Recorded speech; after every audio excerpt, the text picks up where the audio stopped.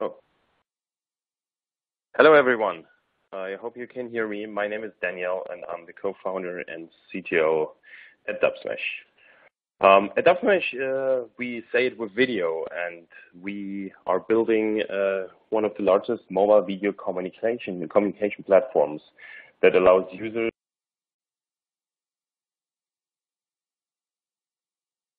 to connect and communicate through video. Uh, video is by far the richest medium to express yourself, and it is usually very difficult to create video on mobile. But as of today, uh, Dubsmash enabled more than 100 million users worldwide in over 192 countries to become creators. We started the company uh, roughly one and a half years ago and are building it here out of Berlin. Loving our product and using it every day, uh, we see uh, that users generate over 35 videos every second and sharing them in our app. So the easiest way to create a video on Dubsmash is by selecting uh, an existing soundbite out of our over 17 million sounds large library. These sounds uh, are usually between 1 and 10 seconds long, but they uh, are movie quotes or music parts or you know any kind of audio you can imagine from sports commentary to politician speeches all kind of audio that is popular pop culture and well known. After selecting the soundbite then the user usually uh, records himself filming himself while lip syncing to that sound. So the final video then can be shared uh, with friends and family and is usually very very entertaining what started uh, as a pure creational tool became now a full-fledged communication platform. Uh, since a few weeks ago, with the launch of our Dubsmash 2.0 version, uh, you can find your friends on our platform itself. Uh, we still have all the tools available for you to create expressive videos within seconds, and you can finally communicate with your peers within the app. We have a feature called Dub Talk, which allows people to have pure video communication going back and forth inside the app. So uh, to inform our users, for example, about received dubs or if someone reacted, meaning giving feedback to the user that just created a video, we are leveraging push notifications. This is really important, especially for uh, you know a communication platform that this is happening to inform the users that there is something new on the platform. And uh, we have a couple of use cases more uh, that I'm going to explain in a few seconds. Uh, but one of our core infrastructural parts here is AWS Lambda. So let's have a look at the different use cases that we have uh, here at, uh, at Dubsmash. So as I already mentioned, this is like the first picture um, that Jonas just sent you a new dub. So if I'm getting a new dub within Dub Talk by a friend of mine, we trigger a push notification to the recipient to inform him uh, that he should come back and check out the new dub he just received. Besides that, we are also running different campaigns where we are addressing larger user segments to re-engage them uh, within our app. So currently there's the European Championship going, and of course, you will definitely find the right sound bites in our app for your pre preferred team. So what we are doing uh, sometimes is that we send out these push notifications to inform the users that they can find their favorite team quotes or uh, you know cheering sounds for, for their team, meaning that at a very short time frame we are addressing millions and millions of recipients. The third use case uh, is so-called silent push. A silent push notification is when we tell the app that is running on our user's uh, phone, smartphone, uh, we're telling the, the app to, to start in the background and refresh data, pulling data from our service.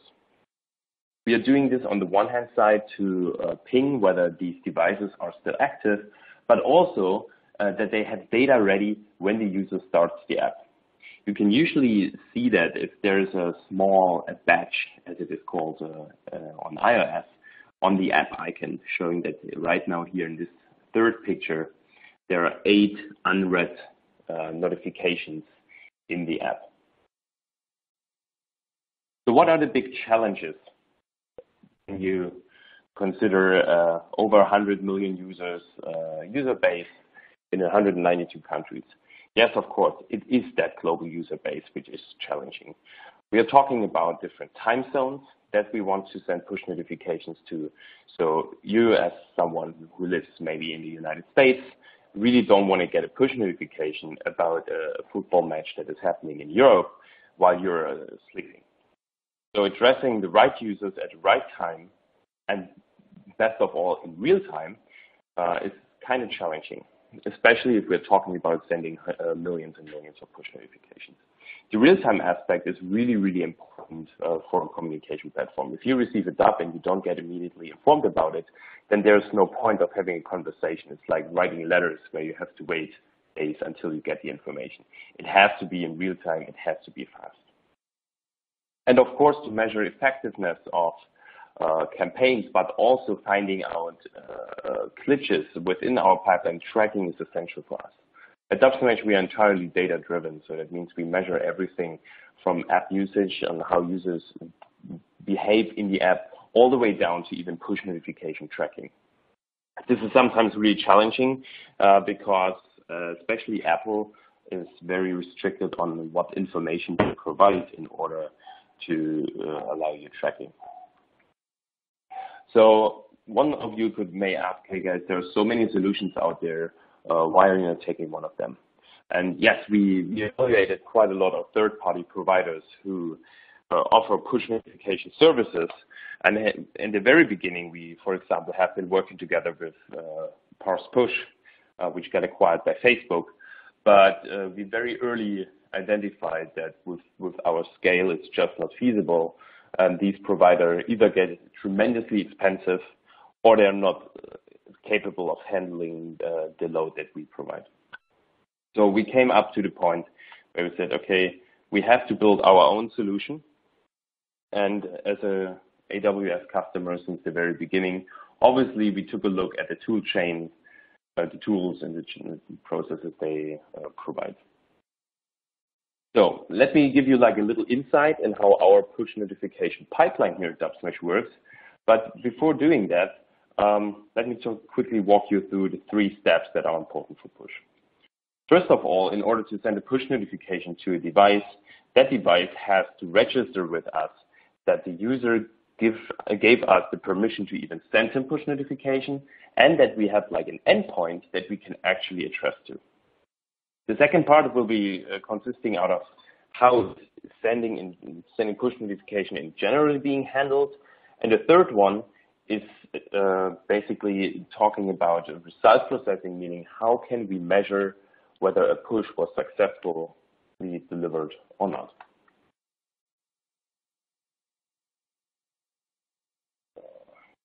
Okay, let's start with the device registration.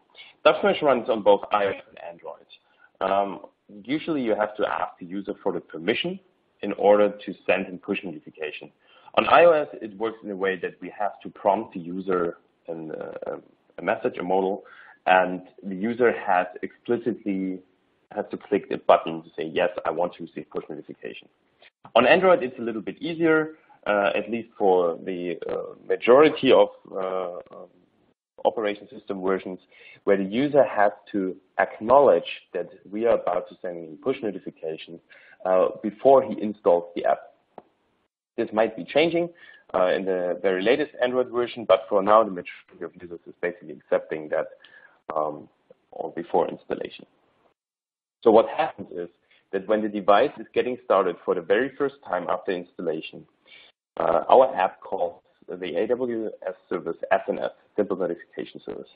SNS is basically a, a wrapper for both APNS and GCM, Google Cloud Messaging and Apple Notification Service, obviously. It's providers who then deal with sending the messages to the actual target.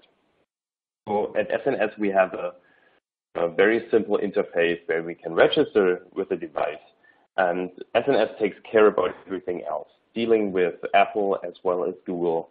Uh, they also support a couple of other providers, but they are not relevant to us.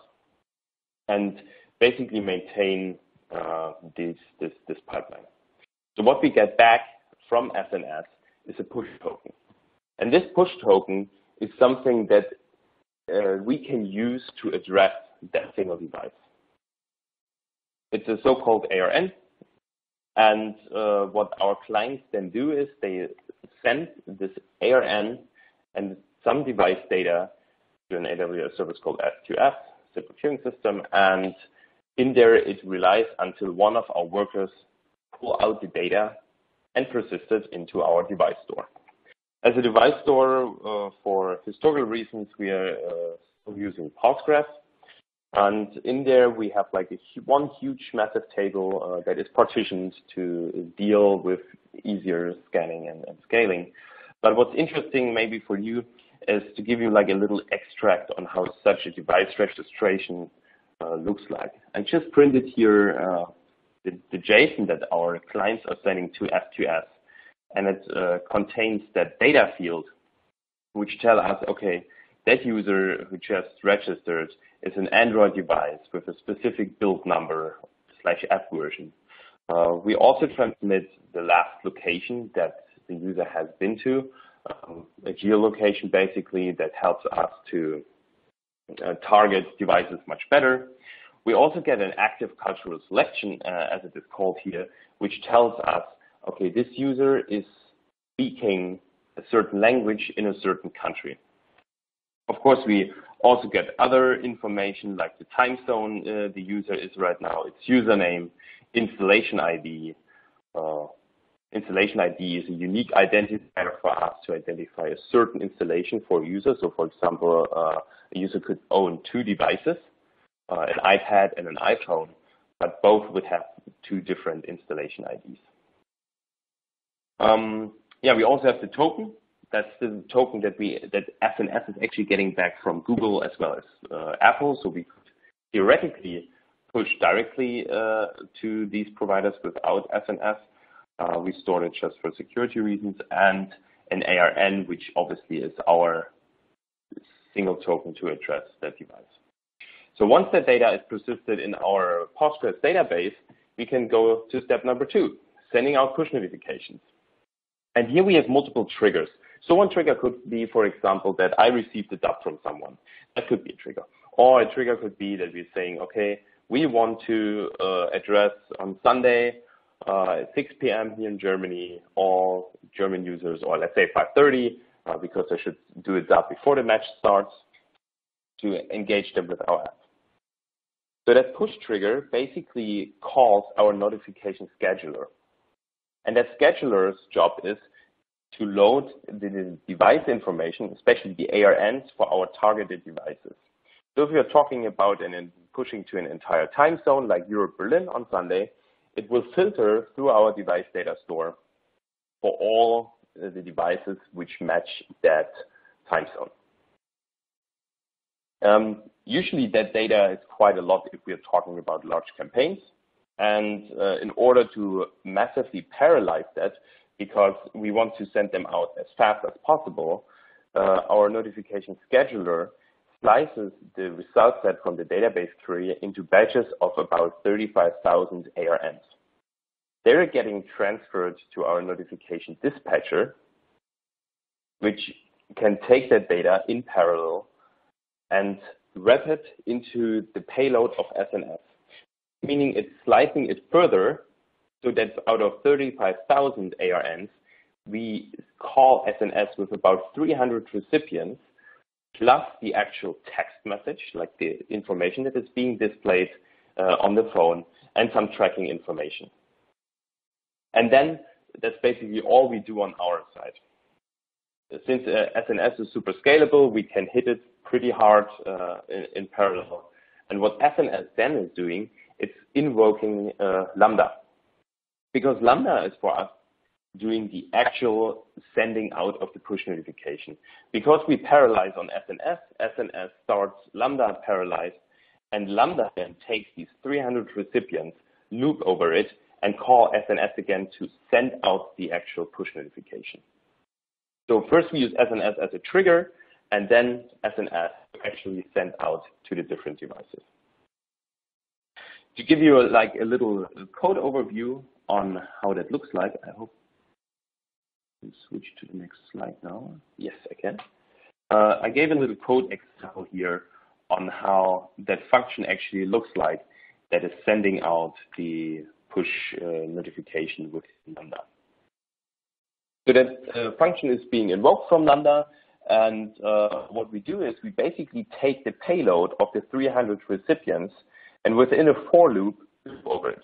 And for every recipient that we have, well, we first of all check whether that recipient actually has an ARN. If not, we just skip that one. But then we are trying to get the endpoint from SNS, check whether that endpoint is still active. What could happen, for example, if a user uninstalls the app or removes the permission for us to send out push notification, um, that endpoint is being disabled at SNS. So there's no need for us to call uh, send out a push notification to a device that is disabled. And since this um, disabling is very asynchronous, so uh, it's, it's hard for us to track it on our side, so we are always double checking with uh, AWS SNS whether that endpoint can be reached. Um, I already mentioned different reasons why endpoints could be uh, disabled. Uh, Google is very nice with that. They usually give you, or they give you like a synchronous callback if a device did, uh, was not able to be reached, or if a user uninstalled the app, um, pushing it, it will result in a in an error message. Uh, whereas Apple is dealing with it asynchronously, meaning if I'm pushing to an Apple device that is not active anymore, I'm not getting a callback, but I rather get informed by a service called uh, feedback service that is provided by APNS. Uh, and that feedback service usually should uh, tell us within 24 hours that the service is not available. Um, that's not very reliable. Good thing is SNS is handling all of that, so we just have to ask SNS, is it still active or not? So when that endpoint is active, then we just basically take the message uh, that is in our event payload as well and call endpoint.publish, handing over the message uh, as a JSON and still, yeah, tell that the endpoint is, is, still active for our result set. And in our result JSON that we in the end return uh, out of that function, I'll come to that in a second, uh, we can basically make sure, okay, Lambda execution uh, was successful. Yeah, so let's look into the result processing. Um, I just took the uh, Lambda part and the SNS push part from, from this slide. Uh, I can't uh, animate it here. Yeah. So it's basically, in the moment when Lambda is pushing to SNS, we we gather the information, we get it directly from Google if something is not working out, but we're also getting the Lambda result, uh, whether that function has been executed successfully, and throw all that data into an SQS Um, we do that for the reason because we want to get that information if a device has been disabled to uh, remove it from our database as well. So we have a couple of workers running behind that queue that basically just pull, pull the information, process it, and update uh, devices in our device data store. So for the next query set that is looking for Berlin, Europe time zone, for example, um, devices that are not active anymore, that where SNS reported to us that they have been disabled, we want to not include them in order to reduce the call of useless uh, SNS uh, invocations. Um, that happens asynchronously, so for us it's not really important that it's immediately updated uh, depending on the size of the different uh, push campaigns or batches that we're sending out, it might take a few minutes uh, until the results are back. So to give you like a, a little final overview on a few numbers, um, with uh, with that pipeline, we were able to send over 500 million push notifications uh, in the in the last month, um, meaning that we invoked Lambda over 3.5 million times, and within Lambda we did over 11.8 million seconds of compute time. The good thing here is that we do not have to uh, maintain any server infrastructure behind that. I mean, that's the cool thing about Lambda. It's really just uploading a piece of code that gets invoked via SNS and does all the massive parallelization and heavy lifting for us. So we just provide the input. Everything else is being handled by Lambda. you might ask, okay, and how do the machine look like that get the data into Lambda? Um, yeah, we have uh, for for scheduling we have a pretty large machine because um, that's an eight-core machine with 14 gigs of RAM. Uh, we are running that of one of the uh, of our partners uh, called Heroku. Um, they they basically take care about them, the machines. It's also running on AWS. And uh, the reason why we have a 14 gig machine here is if we want to get large user segments out of it, we have to materialize that information at one point in order to slice it. For the dispatcher itself, it's a two gigabyte, two core machine. Uh, we are running four, usually three to four machines, depending on how many we are sending out. But the overall setup on our side is five servers for getting the data out of our database and then handing it over to Lambda, which massively sends it out. So to send out to 15 million uh, users, it usually takes less than 10 minutes to do so. From getting it out of the database until the last device uh, has been pushed. Cool. That's basically all from, from my side. Uh, thank you very much. Uh, let's play it with video. Give the app a try. Uh, yeah, give the app a try. Play around with it. Uh, enjoy having very entertaining conversations using videos. And uh, I think I'm open to question now. And I think there are already the first ones in here. Um, okay. Uh, the question is, why are you using SQS to gather registration and delivery events and not Kinesis streams? Um, yes, this is a very good point.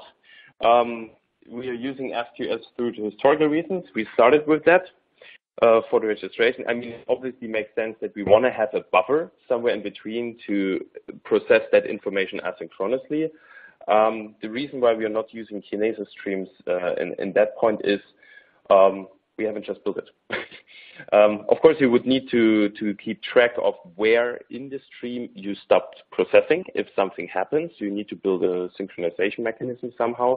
That is given by SQS, um, but the let's say, the financial benefits of using Kinesis in here were not worth uh, switching the technology there. I hope that answers your question. Okay, any more questions from your side? Yes. Do you disable devices on the first and single push error, or do you have some kind of error counter in the device database and have thresholds to disable devices?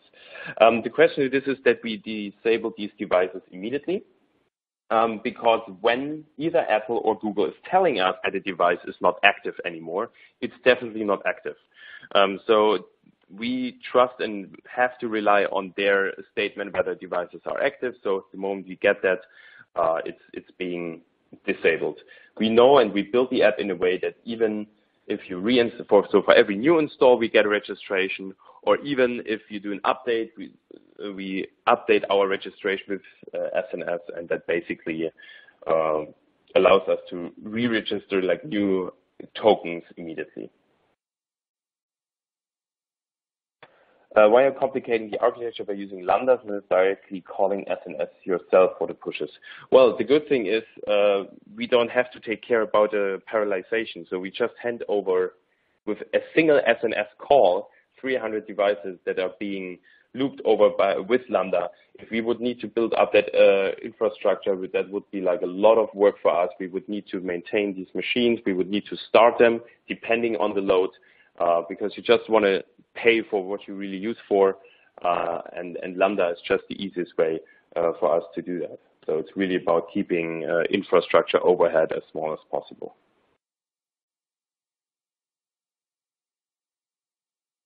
And it's actually not complicating it. It's it's, it's really pretty straightforward. Um, what what uh, the Lambda function also does, I haven't shown that in the slides, uh, within the app, we have a notification center, so you can see in the app what is going on, like a little bit on Facebook, notification center on the website. If you hit the, the little globe on top, you see what is going on. Uh, Lambda is besides sending that push notification, is also calling one of our services to make the entry of the push notification also persisted in the notification uh, center of that user. So there are a couple of functions that are actually being called by, by Lambda there.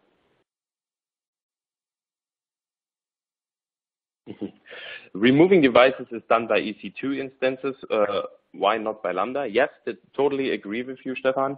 Um, that could also be done by uh, by Lambda itself. Um, also here, for uh, focus reasons, uh, we haven't had the, the, resources to do that. It's on the roadmap, but right now uh, it's an optimization that's currently not needed in that sense, and we rather focus on building uh, new features for our users. And it's actually not even done by EC2 instances. It's actually done by uh, little workers also run at Heroku. Uh, so for us, it's basically a, uh, a, Celery worker who's doing that. We're using Python for that. So it's a few lines of code that would need to be touched, but yeah, haven't had the, the resources yet.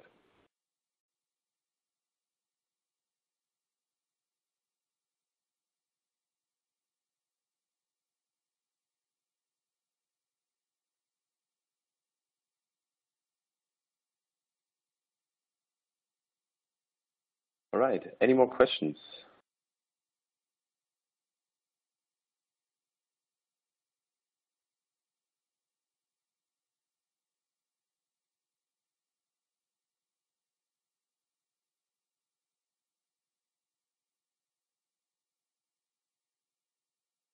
Thank you very much. Uh, you're also very welcome.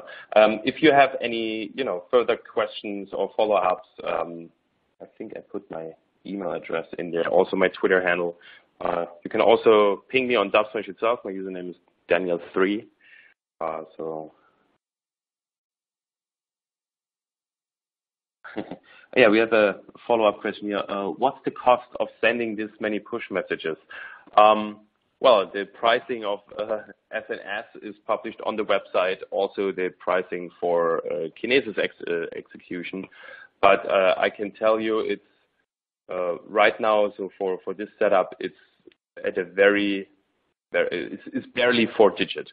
So it's, it's really not expensive. Uh, we did the math on using a third-party provider with that, and that would be already five digits. So for us, it's a, it's a big cost savings.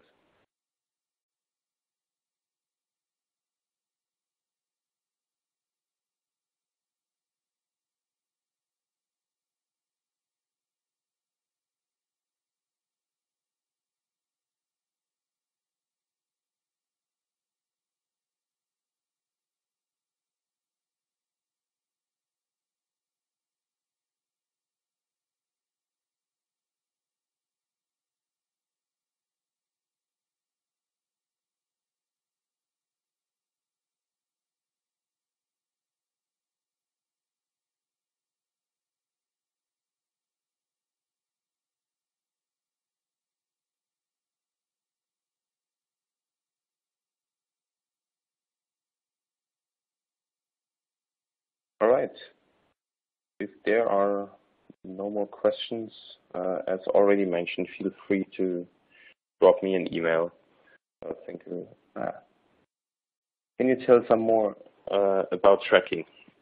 Um, any like specifics that you're interested in with the push notifications, or okay? So what what you can do? Okay, I can I can share a little bit insight. Um, the big problem with push notification tracking is that um, when on Apple at least, uh, push notification is being received, uh, you can only, or the app itself gets only informed if the user opens the app through that notification. So if you swipe it on your home screen or if you open it in your uh, notifications overview, so if you swipe from the top to the bottom.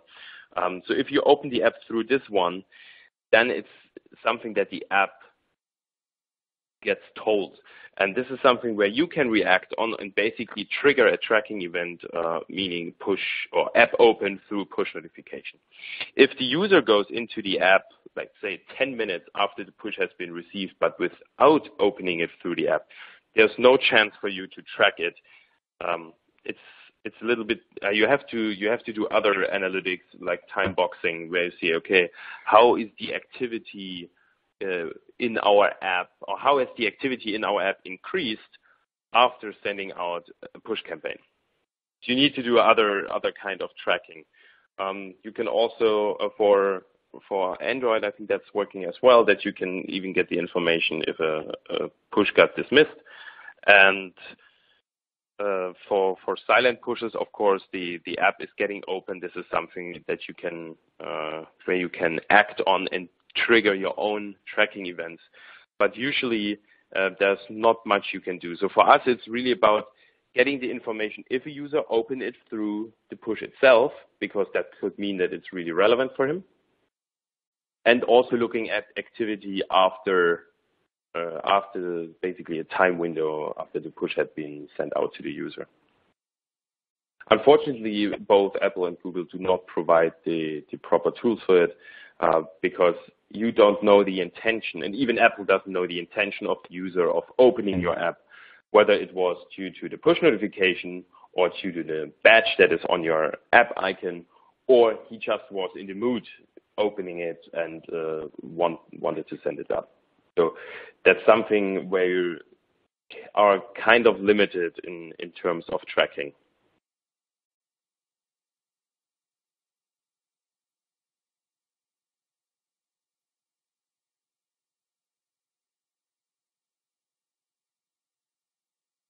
No, we are not using uh, CloudWatch uh, for activity tracking. That was the question. Um, we built our own uh, analytics pipeline where we aggregate, uh, where we trigger client events within our clients, batch them, and then sending these client events to AWS Kinesis. And behind Kinesis, there is a, a fleet of different workers who process the data, who clean it, who uh, look for duplicates and then persist it in uh, either BigQuery or AWS S3, where other tools are hooking up to it, where we can do analysis on it. We are also currently looking into leveraging Kafka for real-time analytics to see and to segment certain users so we can basically trigger push notifications if you haven't done a dub within the last three days. So all our tracking is basically done within the client, about 95%. Uh, but that's all built without CloudWatch.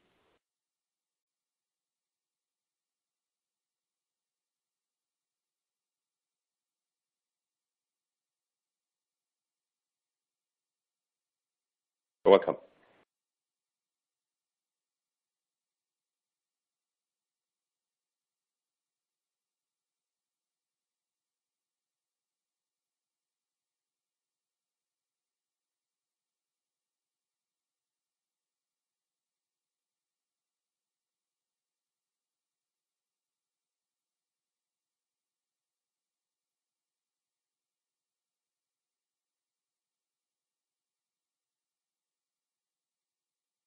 Any more questions?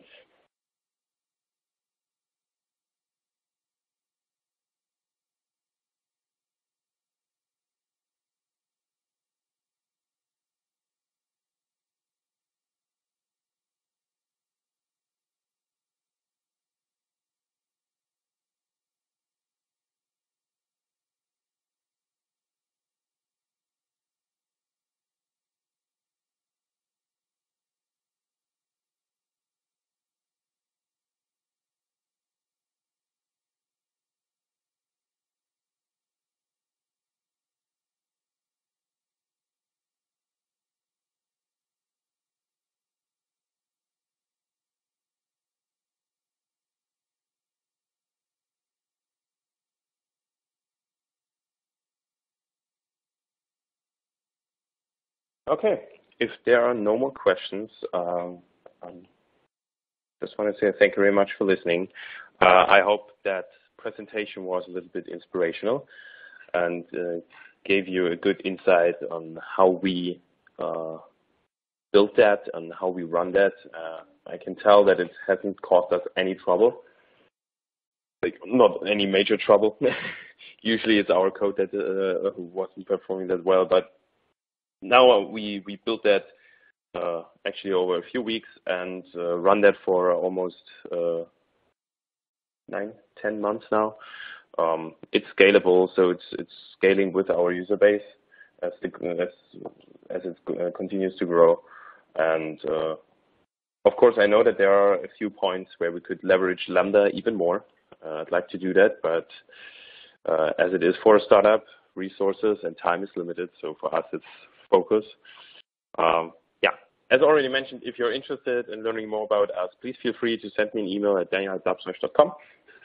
And uh, I wish you a pleasant day. Thank you very much.